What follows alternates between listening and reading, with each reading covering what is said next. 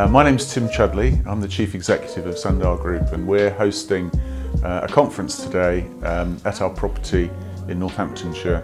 Uh, it's a Learning and Development Thought Leader event. Uh, the event we're running today is giving something back to learning and development professionals, people that uh, regularly come and run events here. We thought that if we ran a learning and development thought leader, then they would be learning uh, rather than teaching. So we've lined up some great speakers and some good uh, events for, for the day and lots of networking so that people who maybe um, come with their delegates separately from each other can have a chance to meet each other. They've got a lot in common. So it's kind of giving something back to the learning and development community. So my name's David Cooper. I'm Managing Director of FFP Packaging Solutions. And today I was talking about a real life case study of change management in our business. I think the specific area of my presentation today was about how to foster employee engagement through change management as being a key ingredient for successful change management.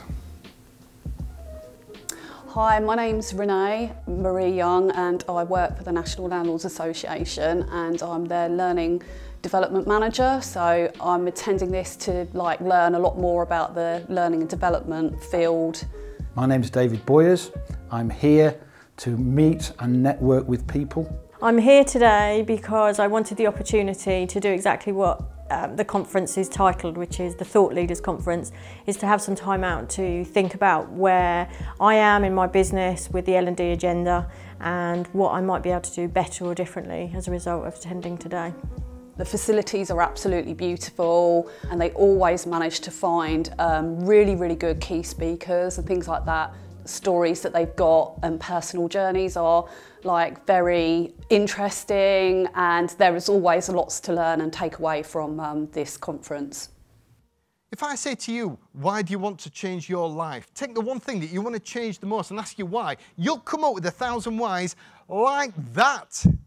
Um, but just to get a sense of, it could be something you've personally experienced, it could be friends, family, it could be amongst colleagues.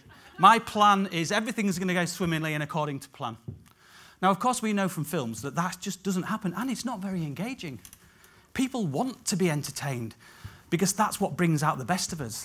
And to really support an organisation to thrive and grow, you need to have a strong core and you need to have those strong branches, which are the leaders and the managers that are going to really help people and take them through the change. What I enjoy specifically is the networking opportunity, but also the time that you can take out from the day job to sit and think about some of the things that are in your mind around what you're working on currently, some of your own issues and challenges, and some hearing from others that you're not alone with those, but there's also some great suggestions and ideas to learn from. But above all, it's just, it gives you that thinking time. It gives you time to recognise what is happening within the industry and within the profession of L&D.